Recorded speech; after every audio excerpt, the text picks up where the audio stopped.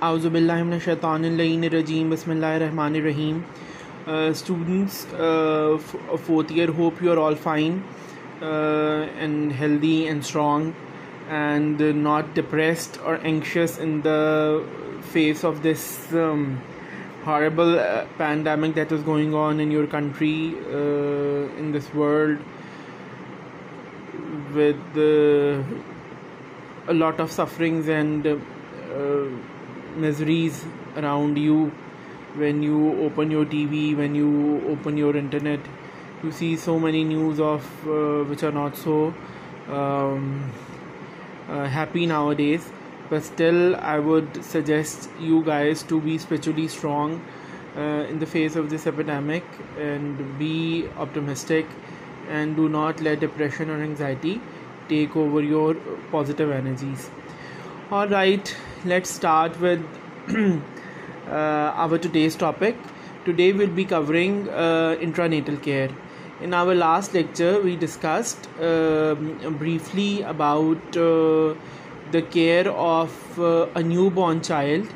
Uh, but as we to- uh, I told you that in maternal child health, we are dealing with mothers and children simultaneously so uh, during intranatal period we have two things to bother.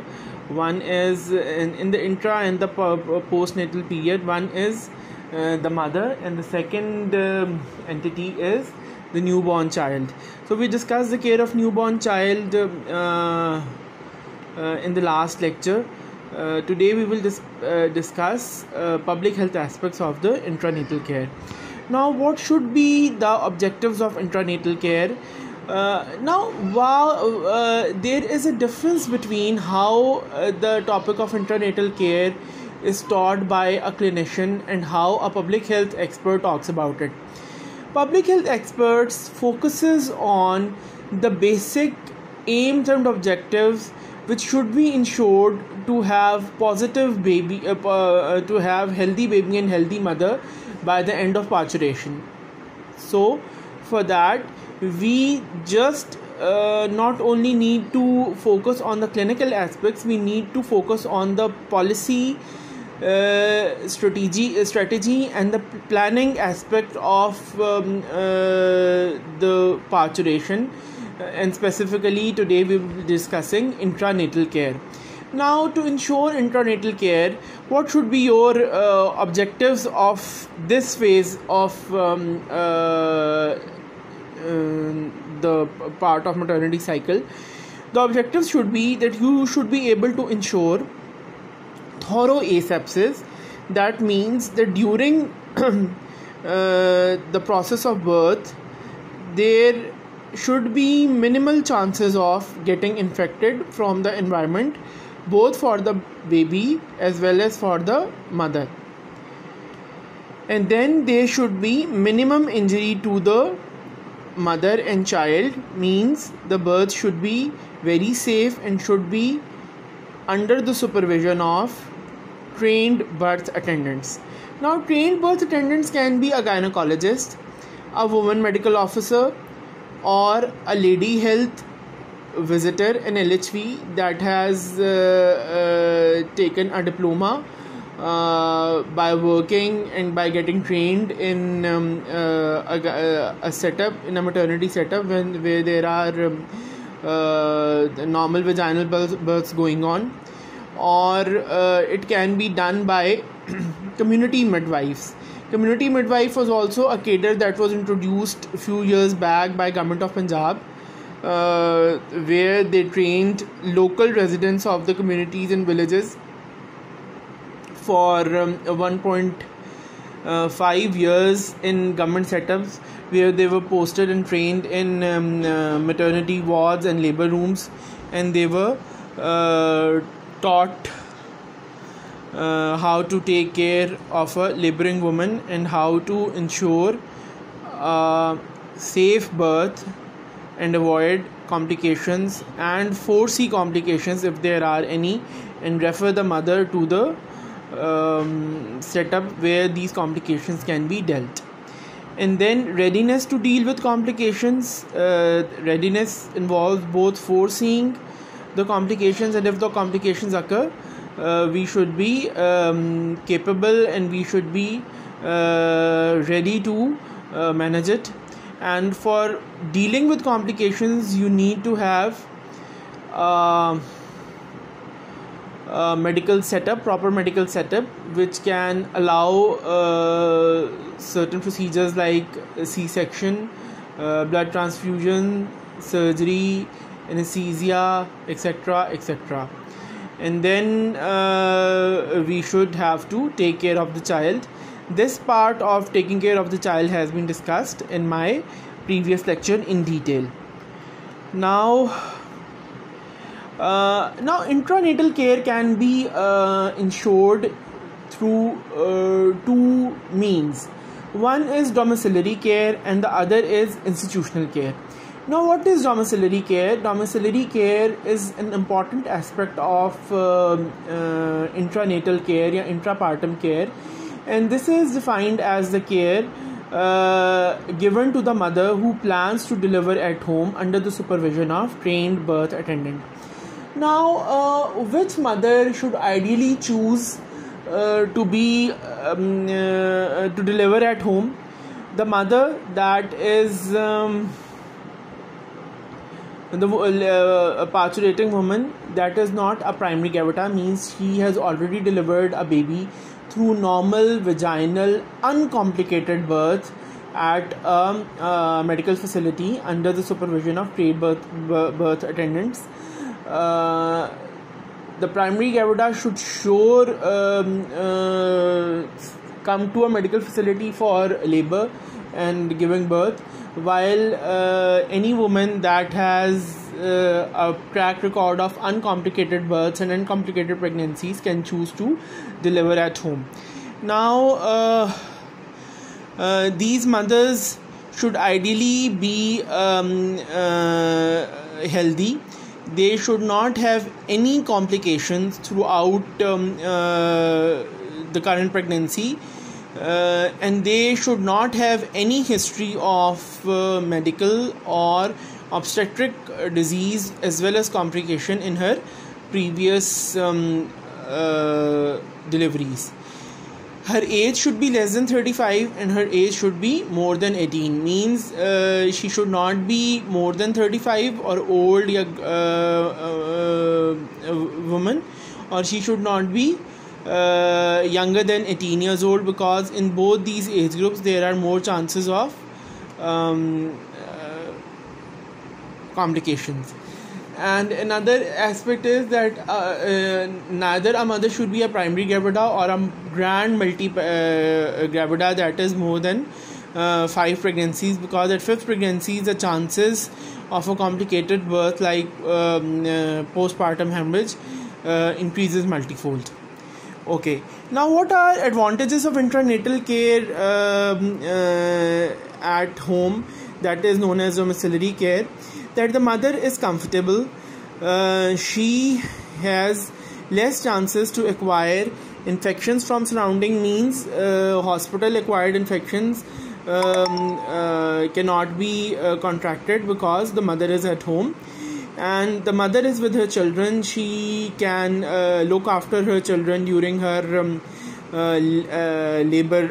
If the labor is long usually it takes 6 to 8 hours uh, in uh, uh, women which are not primary who are not primary gravidas now this is very important aspect. Even i uh, had experienced this thing that when you are um, uh, having uh, you are already having children and you are going to have another baby soon one huge um, matter of concern for the mother is her uh, already uh, her life children who are already dependent upon her.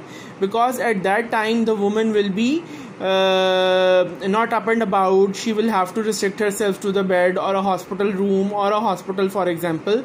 So she will not be able to take care of her children and um, uh, as we all know that mother and child is a single unit so if the children are dependent upon the mother they are not very old and they uh, depend upon their mother for like uh, their food their sleep and their clothes changing and their uh, diaper changing or they're they are not potty trained. So all these things uh, are a matter of concern. A mother has to uh, has some contingency planning in case she goes to hospital for delivering. In that case if she is provided domiciliary care at her own home at her own environment she can manage her children by her own self by taking care of her by looking after her. With the help of cert- certain assistant for example her own sister mother she does not have to uh, has to leave her house to go to hospital and she will be more comfortable uh, keeping an eye over uh, the children while she um, uh, goes through labor and delivers birth and delivers the child. Now what are the disadvantages? This disadvantage is that first and the foremost thing is there is definitely less medical and nursing care uh, a mother who is delivering at home does not definitely gets that um, level of uh, med- medical or obstetric care that is being provided at a uh, healthcare facility. So uh, she's at loss um, in this aspect and uh, then the other thing is she doesn't uh, get to have much le- rest because she's at her own home. She can see um, her uh, challenges the demanding children around her. So she resumes her work earlier as compared to the hospital birth where she has no other thing to do except to take care of her own uh, the child that has been recently delivered and her own self. She is restricted to the bed for at least 24 hours post delivery and throughout the process of labor. And um, uh, then her di- diet can be neglected because she's at home nobody will bother um, taking care of her because she will not be considered um, a patient or a vulnerable person anymore when she's up and about she's taking care of her children. So rather she would be bothering uh, herself to feed other members of the family like her husband her children or her uh, in-laws etc etc rather than she uh, being the one who deserves most care. So it happens in certain status of the society. All right now uh, uh, while the mother uh, plans to give birth uh, what should be uh, the target of trained birth attendants who are looking after her during her birth at home?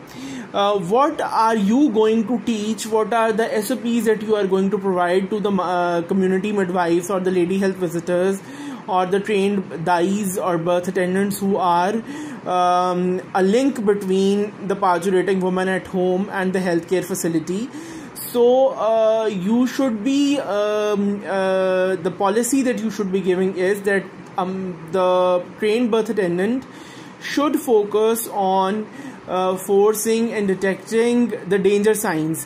What are danger signs? Danger signs are those signs which make women vulnerable to morbidity and mortality and does not um, uh, uh, they does not uh, if they these signs are present uh, they does not promise a very good prognosis of the childbirth. Now what are these signs? That is sluggish or no pains after rupture of membranes. This is sluggish not sluggish this is um, uh, a spelling mistake and then we have another spelling mistake in the next line. Sluggish or no pains after rupture of membranes this is one of the danger sign. Uh, the trained birth attendant if he finds um, uh, a mother with rupture of membrane and there is a delay uh, in full-fledged pain strong pains are not coming. Pains are sluggish. She should immediately refer that uh, parturiting woman to the nearby healthcare facility. And then there is no progress despite pain. Pains are coming. Pains are strong. But you do not find dilatation as um, uh, there should be.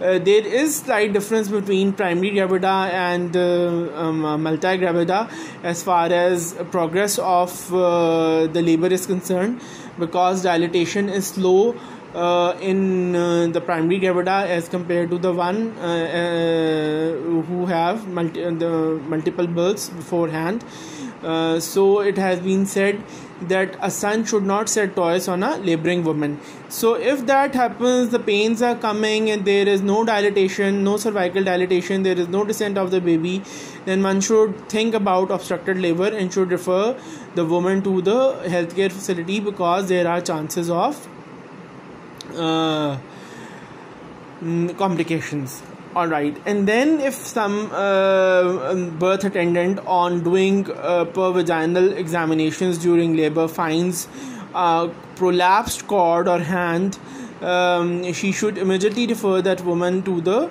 uh, hospital because uh, it is a sign of or rather it is not a sign it in its own self is a complication because there can be compression of the cord by the uh, descending head uh, which can lead to uh, obstructed blood supply to the fetus and hence uh, fetal distress can occur. Meconium stained lab- uh, liquor means that uh, the fetus has passed stool uh, intrautero and the passage of stool intrautero refers to or hints towards the fetal distress that is going on. So if the liquor contains meconium it is stained with meconium meconium it is a danger sign and the woman should be immediately referred to the um, healthcare facility. Or in case of excessive show because there can be some hemorrhage going on inside there can be some tear etc or there is collapse of the woman. A woman gets unconscious. She's bp-less pulseless in that case you should rush her to the hospital because there might be something which cannot be detected without a proper ultra um, uh, sonography of uh, that woman or some other sophisticated test. So that woman should be uh, immediately referred.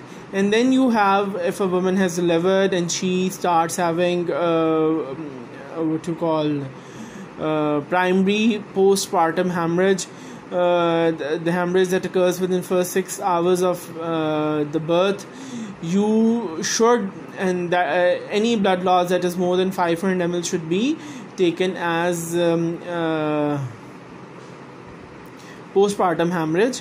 And uh, while the um, trained birth attendant tries to move that lady to the hospital she should uh, ensure the first aid that can be provided or any measures that she herself can do to minimize the blood loss at that time should be ensured like that of uterine massage calling for help arranging transport etc etc and then rushing or securing an iv line if you can so that the blood can be transfused as soon as she reaches the hospital.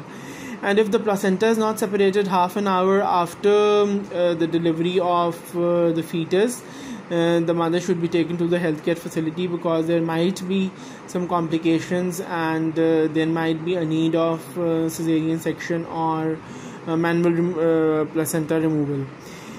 If fever is coming fever shows uh, that there is some chorioamnionitis amnionitis um, uh, which is uh, infection of chorion and amnion that is attached to the uterine wall uh, now, when it happens, if there is significant uh, time lapse between rupture of membrane and the birth of the baby, then the infection travels up the um, birth canal to the amnion and the chorion, and the inflammation starts and fever rises.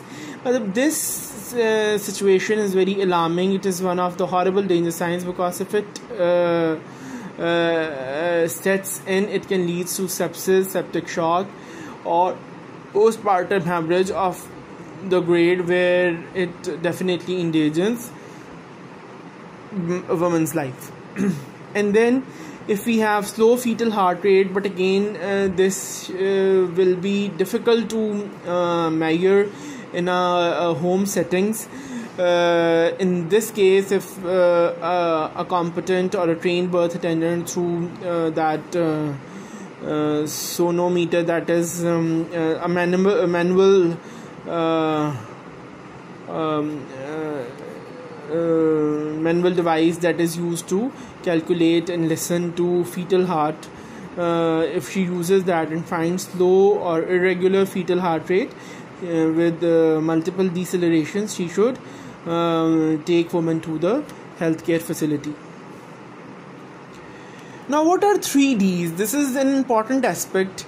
uh, at what three levels delays can occur and um, uh, our mother uh, does not reach um, uh, does not uh, acquire medical attention uh, timely because time is very important uh, if uh, the timely help is not provided to a laboring woman uh, which requires help she may end up losing her baby or losing her own self to the parturition or the uh, birth uh, process of giving birth.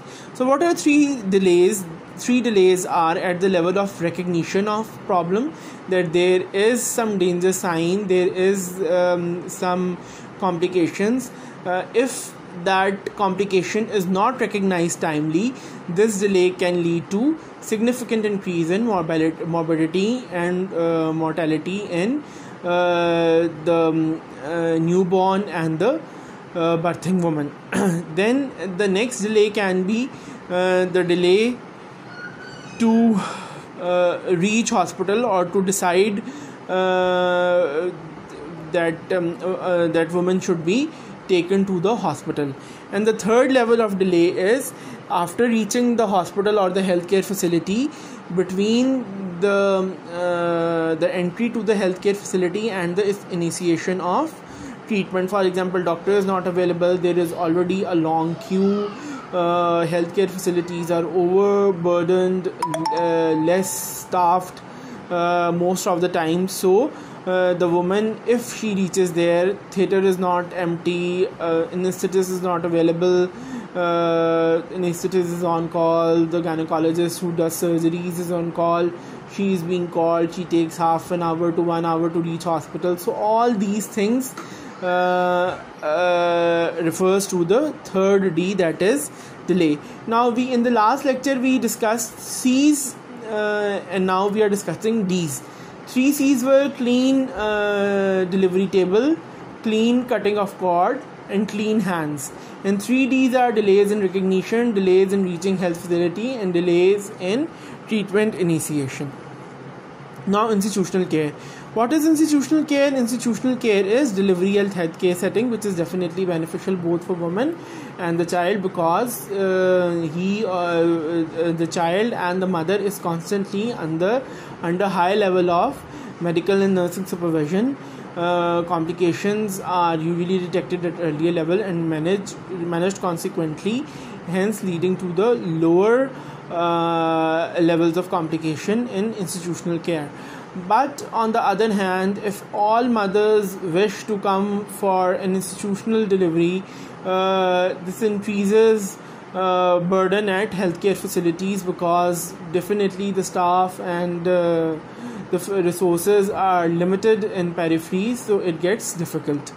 So uh, all mothers who are not high risk should be offered uh, and those who are falling in the criteria should be offered domiciliary care in the delivery. And then uh, after the baby is born uh, he should be roomed in uh, he should be roomed in what is rooming in?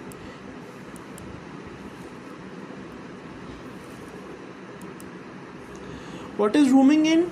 Rooming in is to bringing uh, to bring the baby after birth um, to the uh, woman because it leads to better emotional bondage it leads to uh, early initiation of breastfeeding and then maintenance of breastfeeding and if the child is um, a little premature if skin to skin contact is established then kangaroo mother care uh, is provided now, kangaroo mother care can be asked during um, a Viva or as an MCQ or as, as a short answer question. What is kangaroo mother care?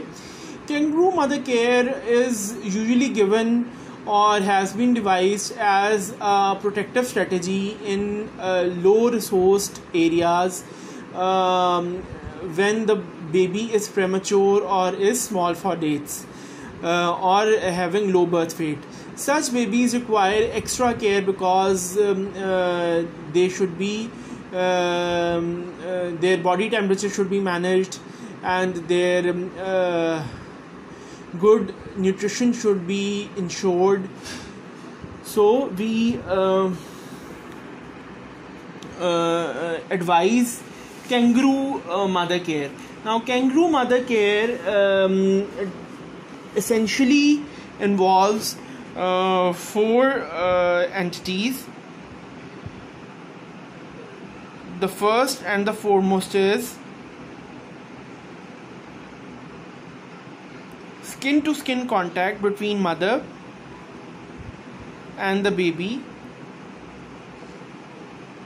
by positioning baby on the mother's chest. Adequate nutrition through breastfeeding. Ambulatory care as as a result of early start from hospital.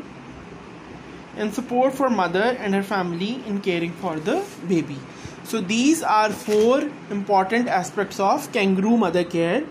So you should it is given in your park. You should uh, they read it from there. Because those babies who are requiring intensive care in incubators if they can are not uh, they cannot be provided incubatory care then kangaroo mother approach is the best and the cost effective approach because it ensures maintenance of temperature. It ensures adequate nutrition to the baby. And the ambulatory uh, aspect is that if the mother is up and about she is doing other work but because the child is all the time on her chest uh, through a belt or some uh, piece of cloth then uh, she is constantly in touch with her child.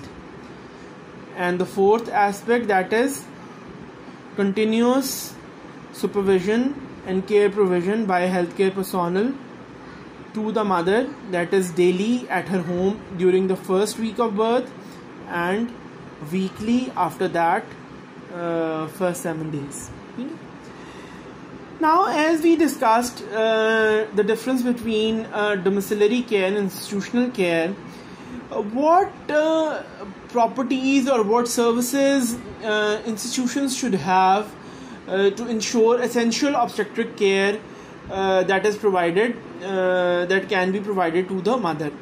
Now on the basis of the type of services that they have or they provide we divide uh, healthcare uh, facilities which are offering um, uh, childbirth uh, facility into two types.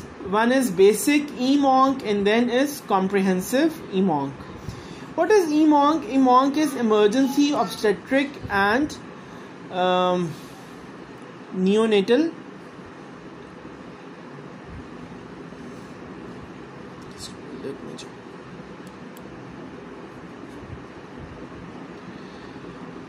emergency obstetric and neonatal care. Now what are basic and comprehensive care? How do they differ? Basic emergency obstetric and newborn care is uh, critical to reducing maternal and neonatal death. This care, which can be provided with skilled staff in healthcare centers, large or small, includes the capabilities for administering antibiotics, uterotonic drugs, that is oxytocin, and anticonvulsants, magnesium sulfate, etc. They should ensure uh, they can be uh, what you call should be capable of offering manual removal of placenta and the removal of retained products of conception following miscarriage of abortion or assisted uh, vaginal delivery preferably with vacuum extractor and then basic neonatal resuscitation care that we discussed in our last lecture. So these 6 plus 1 that is uh, 6 are uh, administration of uh, the parenteral antibiotics, administration of uterotonic drugs, oxytocin, administration of anticonvulsants, manual removal of placenta, manual removal of RPOCs, and assisted vaginal delivery through vacuum extractor are uh, various uh, facilities in addition to the basic resuscitation care that are the hallmark of basic uh, EMONC that is emergency obstetric and newborn care now this topic is not given in your park, so you should take extra uh, effort on these slides to prepare notes from these slides so that you can reproduce it uh, well in the uh, examination because this question is usually asked. And then we have comprehensive emergency and newborn care which includes all the facilities that is provided in basic care.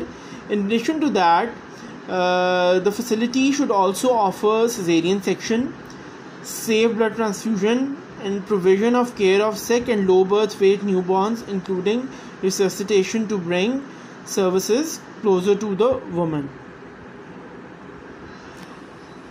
And while uh, the facility uh, should have provision for the C section, uh, the integral part uh, will be the provision of or the facility for the provision of anesthesia. C-section cannot be performed if anesthesia is not available. So both things are lazimo malzoom. They are interrelated and mutually inclusive. So if we say that cesarean section can be performed there, that means that anesthesia will be given beforehand and then C-section will be uh, done. Okay, so that was EMONC, which has two types: basic EMONC and comprehensive EMONC now postnatal care of the mother now mother uh, after she delivers the child uh, the focus should be for on the prevention of complications. Now what kind of complications can uh, develop?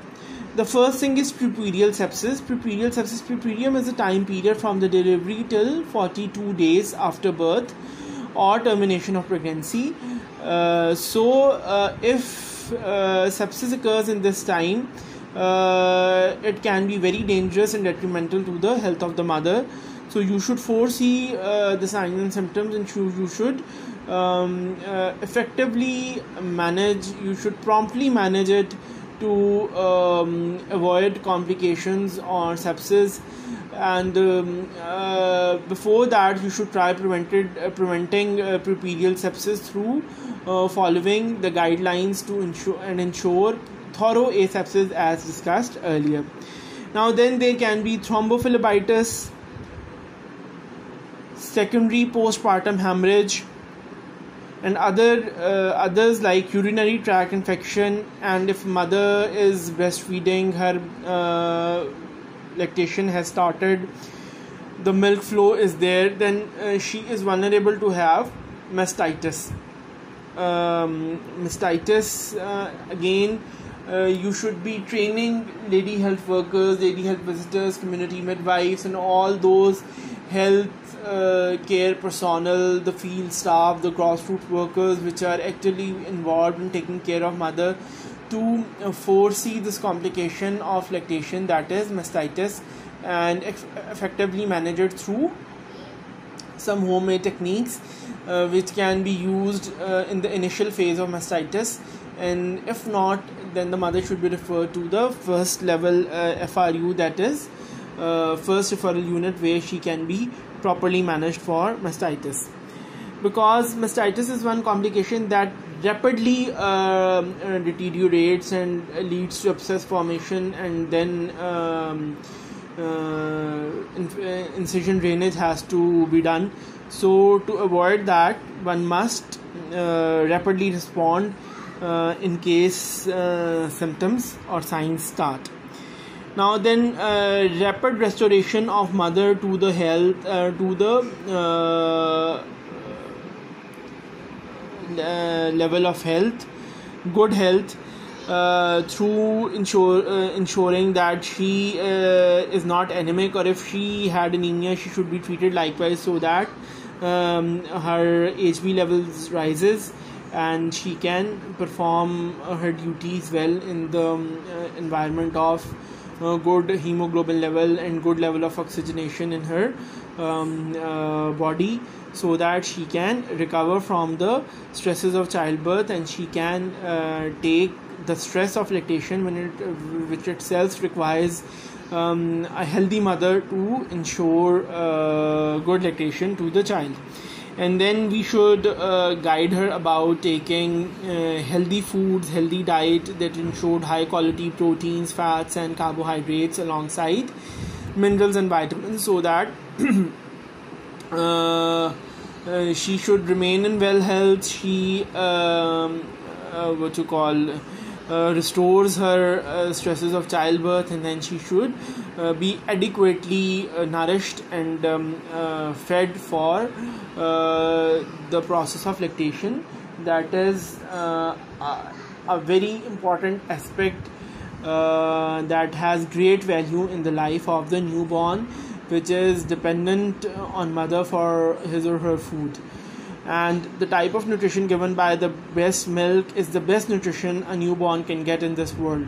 So if a mother is not well nourished or she is malnourished she will not be able to produce uh, or, this, or she will not be able to cope up the stress of lactation because lactation in its early days requires energy requires will and both these things are dependent upon mother's own health and though uh, the mother's uh, nutritional status is not um, directly uh, related to the quality of milk she produces but still she needs to have something in her body to feed her child okay?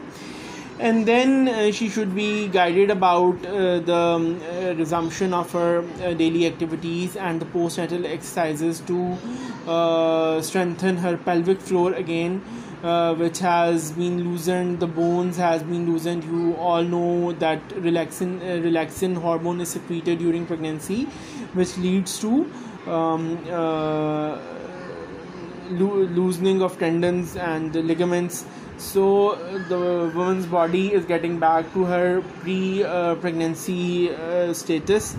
So she should be advised about postnatal exercises according to the uh, her health and uh, the conditions she have developed during uh, uh childbirth. For example if she has pelvic floor uh, uh, what you call weakness in the form of um, cystocele or rectocele or uh, uterine prolapse, cervical prolapse. So all these conditions, likewise, you have to uh, teach them about Kegel exercises, etc., etc. And then you have to psychologically prepare the woman both for mm, uh, breastfeeding and family planning. And you should be uh, socially guiding her about uh, her child, about other children in her household, about other members of the household. You should help to rehabilitate that woman in her surroundings, in her household again all right. And then uh, in the postnatal period you have to uh, ensure that the mother establishes breastfeeding and she is uh, feeding her child herself because this is one most cost effective uh, intervention that leads to healthy children uh, decrease in neonatal and um, uh, infant mortality and malnutrition in the newborns and then you have to give health education regarding all these aspects regarding uh, care of the child regarding vaccination status regarding um, family planning etc and then you should advise the woman because she is most uh, what you call um, uh, prepared uh, for family planning at this t period. If you counsel her for insertion of intrauterine contraceptive device or some uh, skin implants etc for um, uh, contraception she will be happy to take it because uh, she is seeing uh, future challenges future responsibilities in the form of a newborn child and rehabilitation into her environment into her job etc etc so uh, you should utilize this time to guide mother um, uh, for the uh, family planning with this, dear students, we end with our today's lecture, uh, which was uh, care of mother during intranatal and postnatal period. In our forthcoming lectures, we will be discussing uh, growth monitoring, uh, low birth weight, birth weight, and um, mother uh, maternal mortality and infant mortality. These are a few important topics left for maternal child health care before proceeding towards um, uh, school health services thank you stay blessed stay healthy uh, keep praying for um, the humankind around. Uh, keep me remember me in your prayers. For the hafiz